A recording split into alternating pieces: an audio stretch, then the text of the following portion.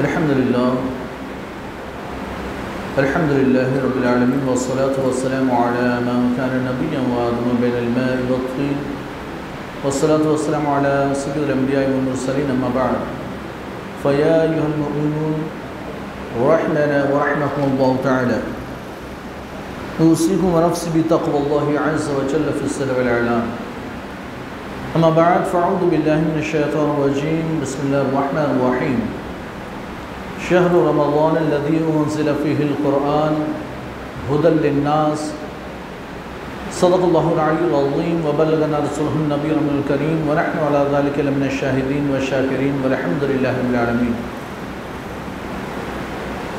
कुछ अर्जुमानों से कबल आई हम आप मिलकर इंतहाई एहतराम अक़ीदत के साथ अपने और सारी कायनात के मरकज़ अक़ीदत।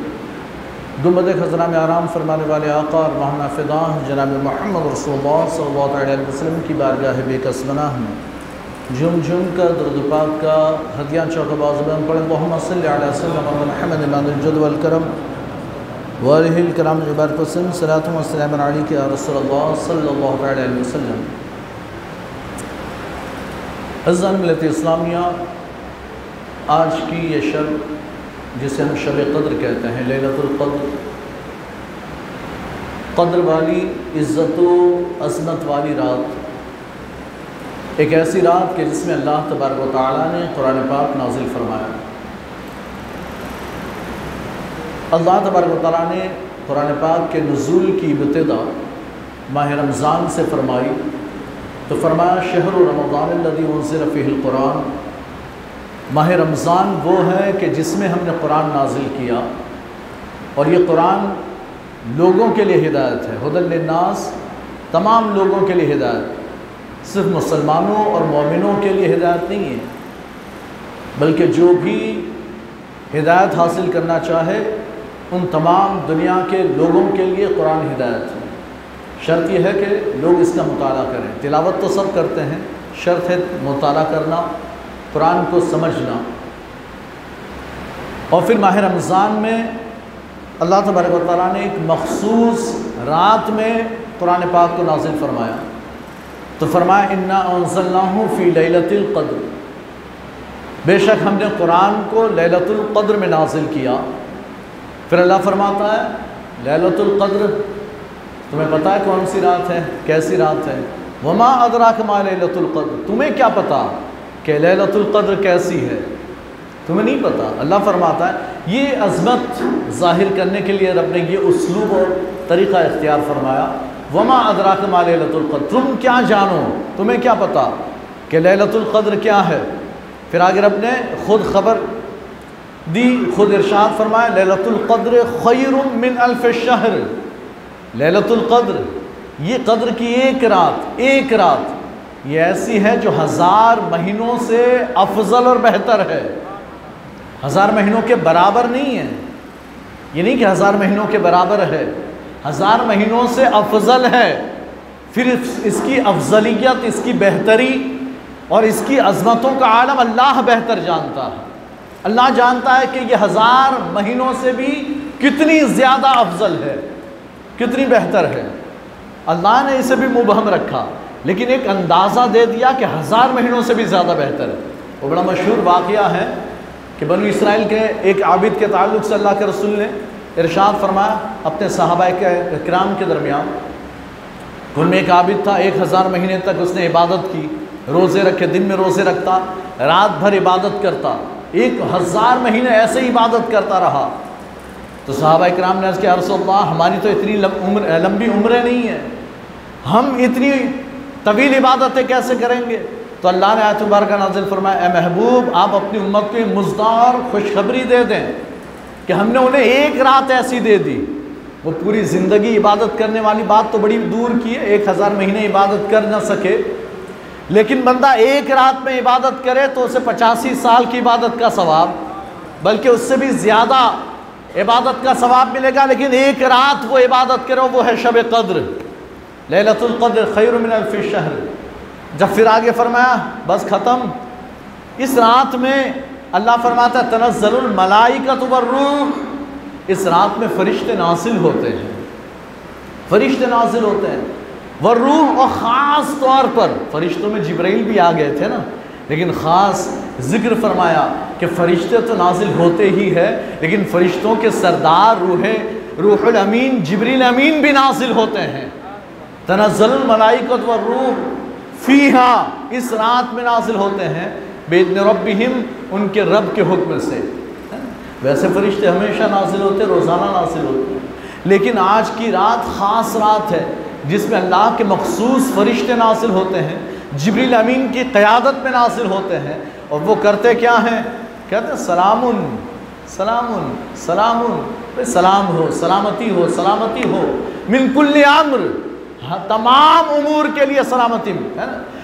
इस रात में फरिश्ते नाजिल होते हैं जबरील अमीन के साथ, और फिर मिनकुल्ल अमरिन सलाम, तमाम उमूर की सलामती अता करते हैं। और ये कब तक चलता है? ये ही हत्ता मतलब ये सिलसिला चलता रहता है जब तक कि सुबह तुलू ना हो जाए। पूरी रात ये सिलसिला चलता रहता। तो ये गुरूब आफ्ताब के बाद सिलाफ शुरू हुई, तब से लेकर चलता है। तो सुबह सादिक के वक्त तक चलता रहता है। फरिश्तों का नजूल का वक्त है। ये और बात है कि अल्लाह के रसूल ने फरमाया, इसे शब कद्र को आखिरी अशरे की ताक रातों में तलाश करो। अब वो हमने ताक रातों में तलाश, कुछ लोग करते हैं, लेकिन अक्सर लोगों ने छोड़ दिया। हम एक ही रात लेकर बैठे हैं, सत्ताईसवीं शब। एक ही रात लेकर बैठ गए, सत्ताईसवीं रात। हालाँकि अल्लाह के रसूल का हुक्म ये है कि हम इसे आखिरी अशरे की हर ताक रात में तलाश करें। इक्कीस, तेईस, पच्चीस, सत्ताईस, अभी आने वाली उनतीस बाकी है। उनतीसवीं शब। ये सारी रातों में हमें शब कदर तलाश करनी अब आप सोचें, अंदाज़ा करें, अल्लाह के रसूल सल्लल्लाहु अलैहि वसल्लम, जो सैदुलम्बियासलीन हैं, तमाम नबियों के इमाम हैं, तमाम नबियों के रसूलों के सरदार सबसे अफजल हैं। गुनाह कबीरा तो बहुत दूर की बात, गुनाह सगीरा, छोटे से छोटा भी गुनाह नहीं हो सकता। मासूम हैं सैदुलमासूमीन सारे फरिश्ते जो मासूम हैं उनके भी सरदार, सारे अम्बिया जो मासूम हैं उनके भी सरदार।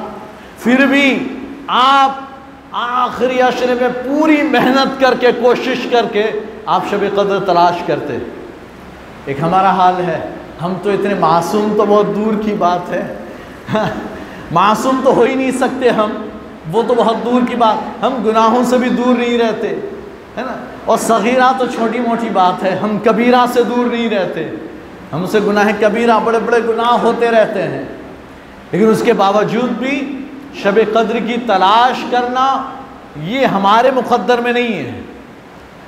एक रात लेकर बैठे सत्ताईसवीं की, उसमें भी हमारा हाल ये होगा।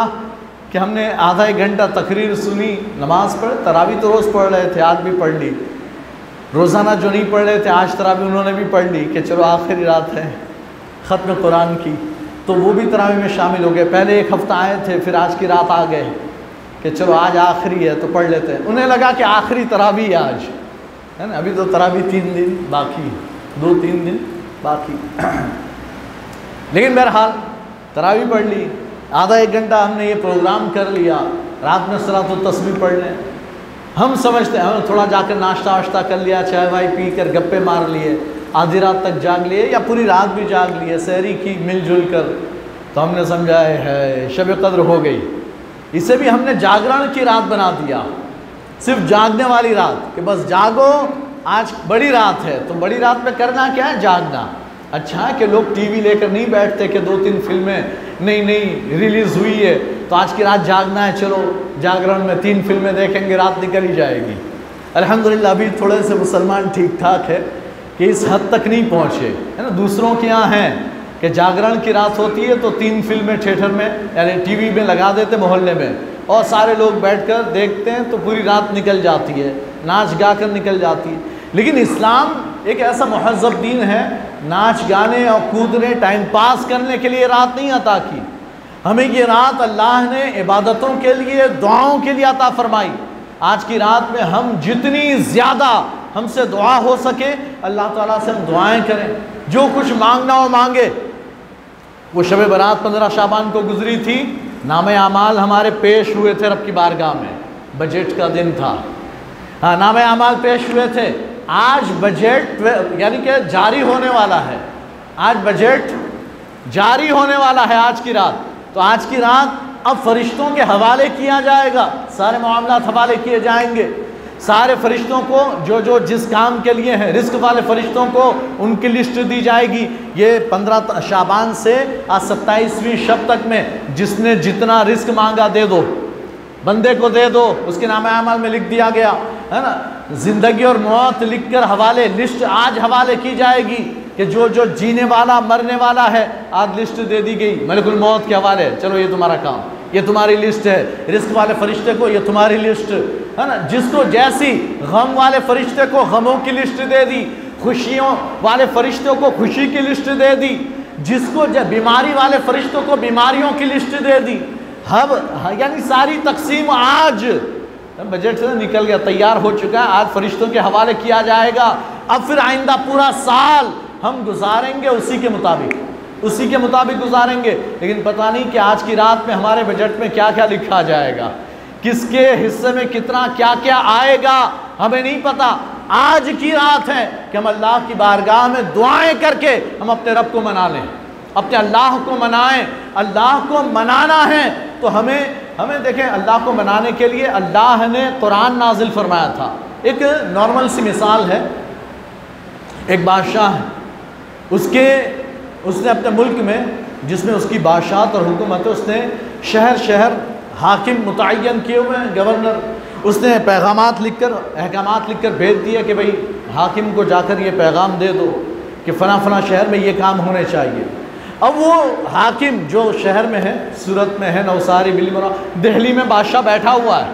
और उसने हर स्टेट में, हर शहर में, जहाँ जहाँ उसके गवर्नर और हाकिम थे, हुक्मनामा भेज दिया, ये काम होने चाहिए। फिर मैं आऊँगा इंस्पेक्शन के लिए, है, दौरे के लिए, या लोग भेजूँगा, मेरा वज़ीर आएगा, मेरे लोग आएँगे चेक करने के लिए।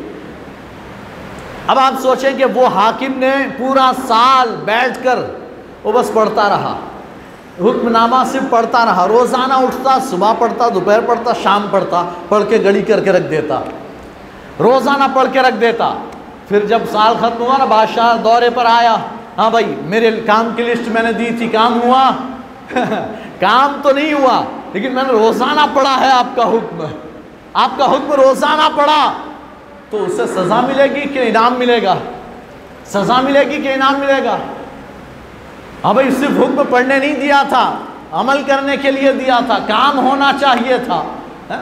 तो इसी तरह हमारा हाल है, अल्लाह ने एक किताब कुरान नाजिल फरमाई थी, अमल करने के लिए हमने उसे सिर्फ़ तिलावत के लिए बना लिया, हमने उसे सिर्फ़ इलाज के लिए बना लिया हालाँकि तिलावत में भी बड़ा फ़ायदा, ये नहीं कि तिलावत में फ़ायदा नहीं है, तिला ये अच्छा लेकिन हमारा हाल तिलावत में भी कैसा हो गया कि पूरा साल हमने कुरान ताक में सजा कर रखा सिर्फ़ माह रमज़ान में निकाला। ना मिट्टी, धूल मिट्टी जमी हुई थी जुजदान पर झाड़ा साफ़ किया और फिर लेकर हमने पढ़ना शुरू किया। फिर लेकर पढ़ना शुरू किया और वो भी रमज़ान, आज सत्ताईसवीं शब या कितनों ने तीन, चार कुरान ख़त्म किए होंगे। आज इसारे सवाब हो जाएगा, फिर बंद करके रखेंगे। तो फिर आते रमज़ानी में कुरान खुलेगा। आते रमज़ान में कुरान खुलेगा। उससे पहले पढ़ने की भी, हालाँकि कुरान को देखना, उसके एक एक हर्फ को देखना सवाब। उसे पढ़ना सवाब, है ना?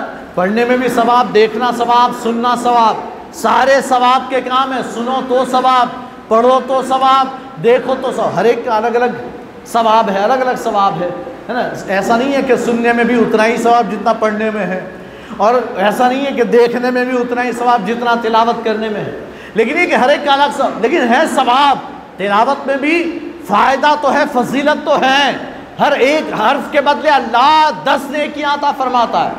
अल्लाह के रसूल इशाद फरमाते हर कलमे पर दस ने किया फिर फरमाया ये मत समझना कि अलिफ्लाम मीम एक कलमा है। नहीं, अलिफ एक कलमा, लाम एक कलमा, मीम एक कलमा।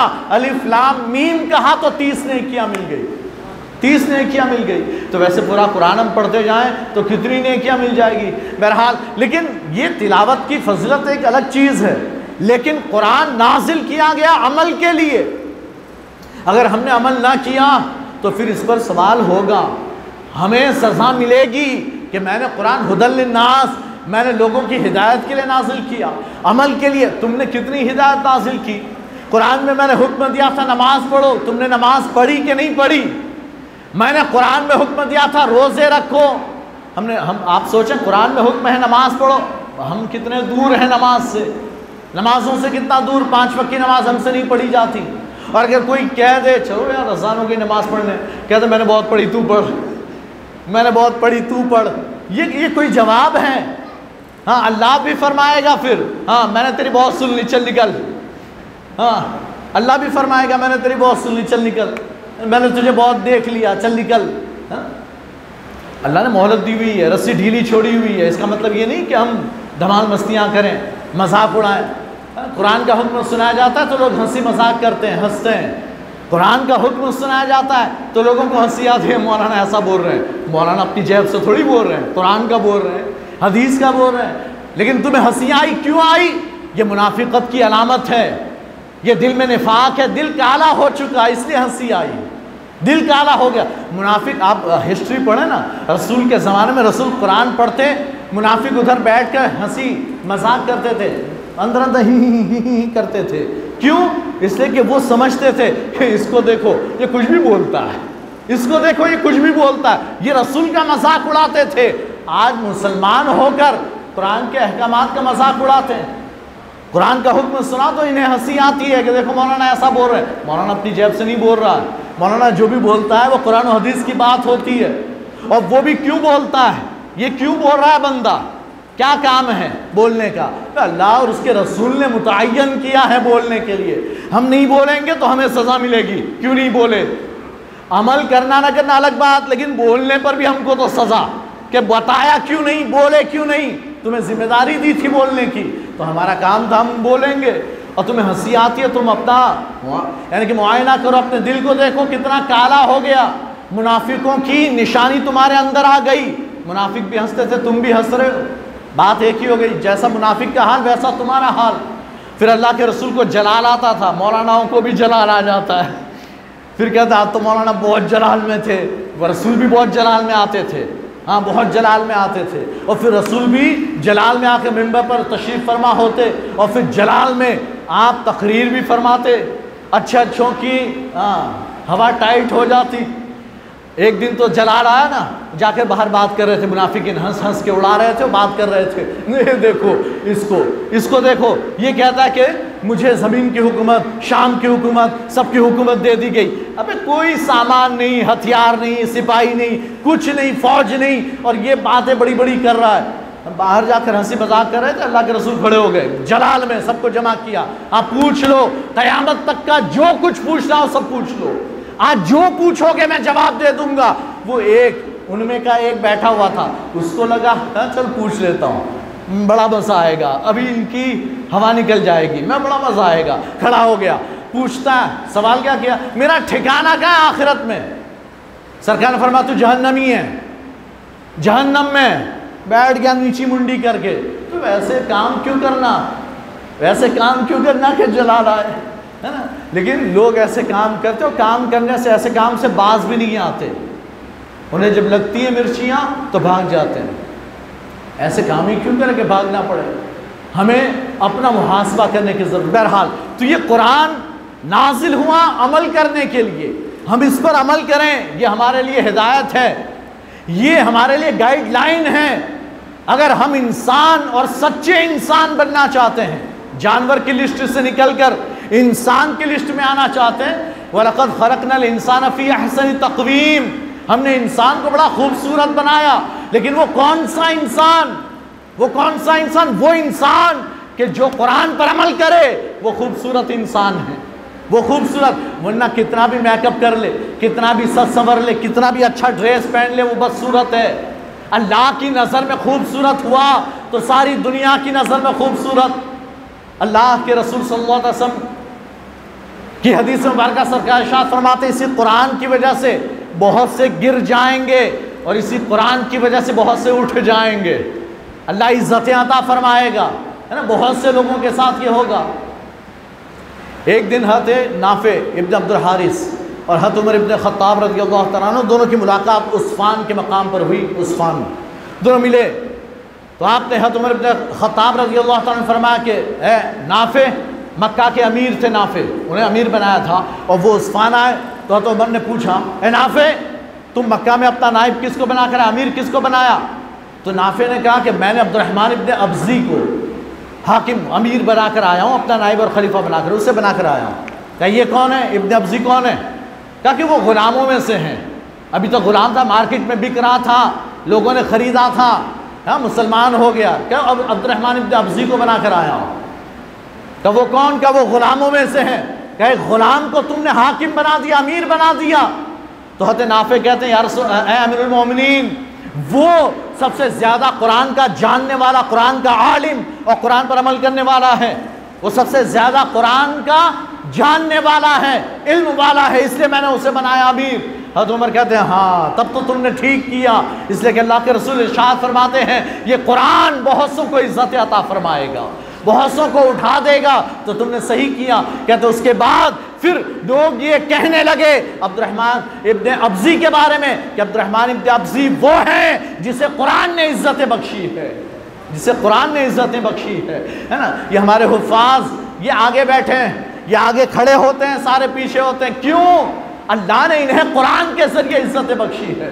है ना? आप इनकी दावतें करते हैं, इन्हें खिलाते हैं, इन्हें ऊपर बिठाते हैं। आप सब छोटी उम्र के हैं। बड़े बड़े लोग इनकी तासीम करते हैं। क्यों? इससे कि अल्लाह ने कुरान के ज़रिए इन्हें इज्जतें बख्शी है। है ना? आज ये बंदा आपके सामने आगे रहता है, पूरा साल आगे रहता है। है ना?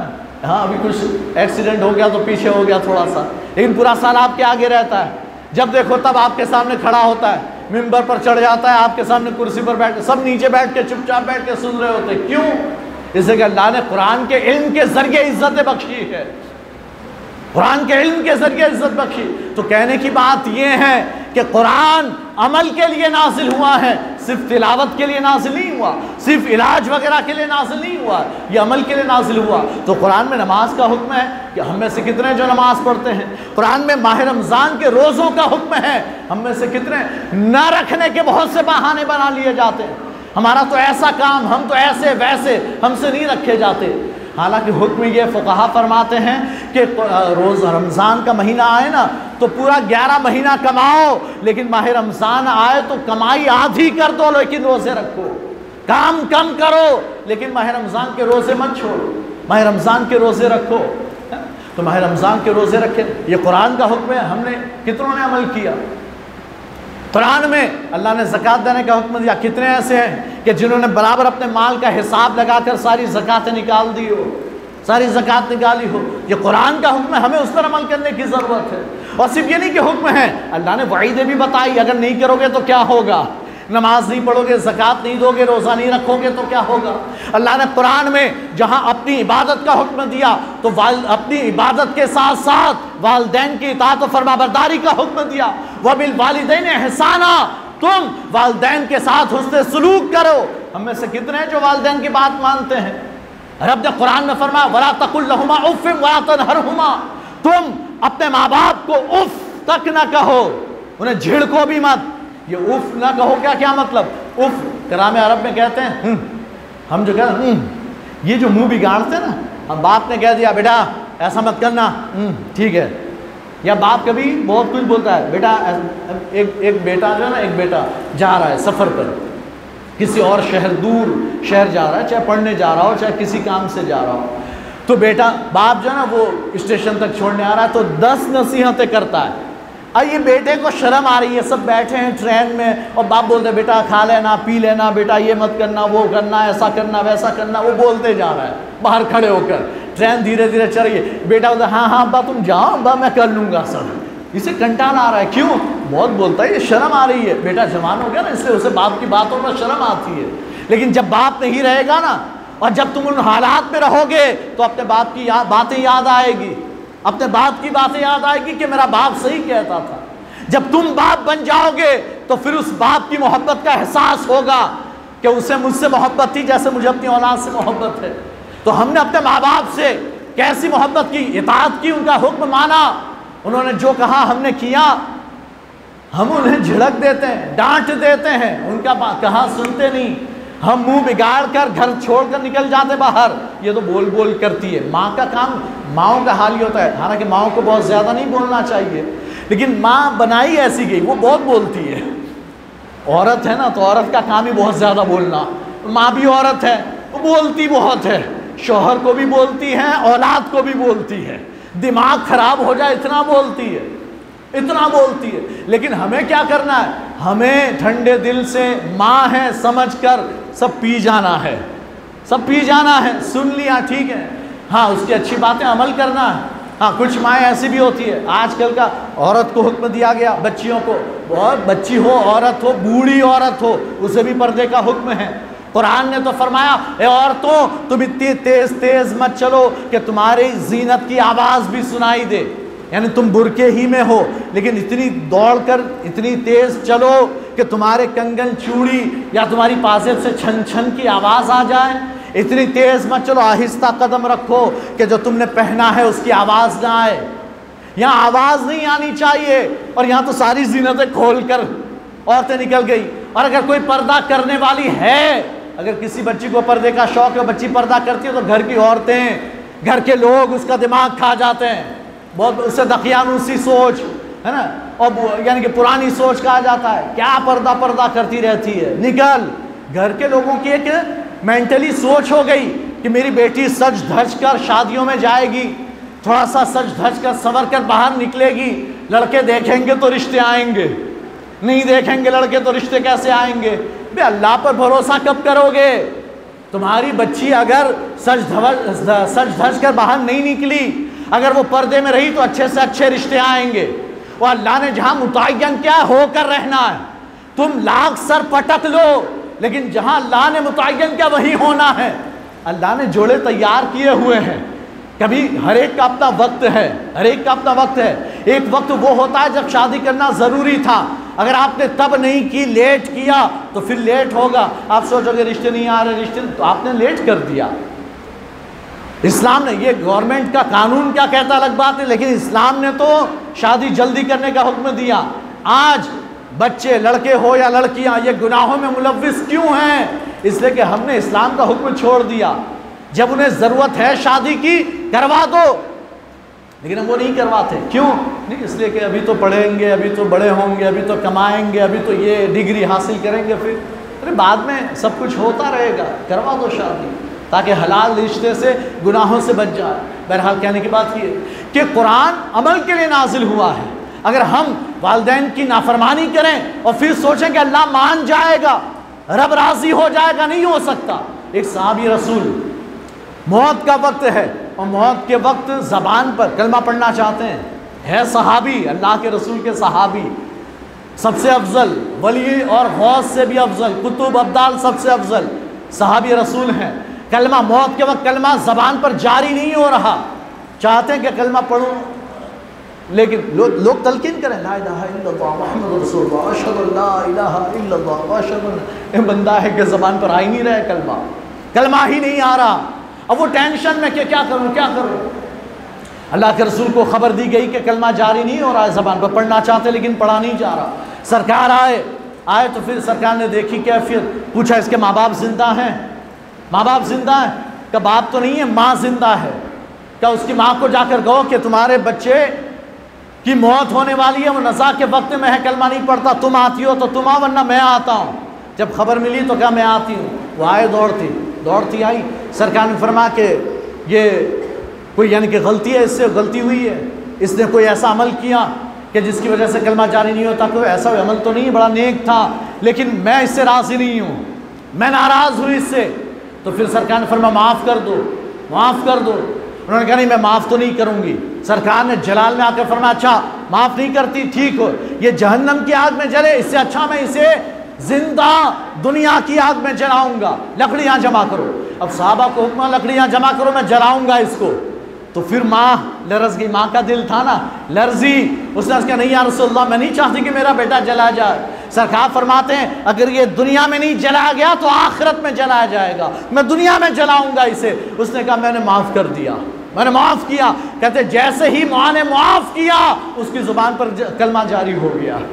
कलमा जारी हो गया। अब वो साहबी रसूल ने कलमा पढ़ा, सरकार भी खुश हो गए और फिर उनका इंतकाल हो गया। कहने की बात यह कि माँ बाप नाराज़ हो तो फिर रब भी राज़ी नहीं होता। अल्लाह के रसूल फरमाते हैं, फ़ी रिजर फ़ी रिजर रब फ़ी रिजल वालिद।